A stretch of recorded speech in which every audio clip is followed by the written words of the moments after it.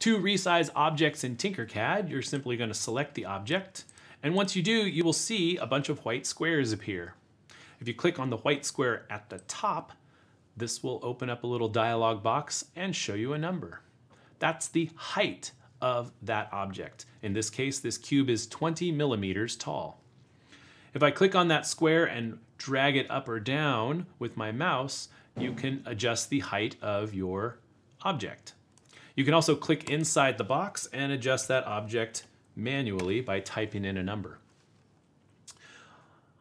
From the top view, you'll see there are four white squares, one in each corner. Um, I can click and drag that to change the length and the width, or I can again go to these dialog boxes and type specific numbers and adjust the length and the width that way. With a cube, you also have the option of changing the length, width, and height using these sliders over here in the shape uh, menu and uh, you can do it that way. You can also click inside the boxes here and adjust the length, width, and height that way.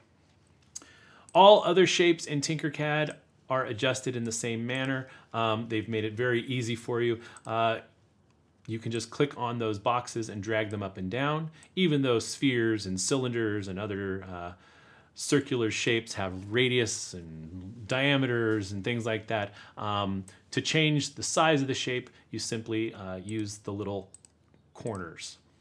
Okay? Have fun making it big or making it small. That's up to you. We'll see you in the next video.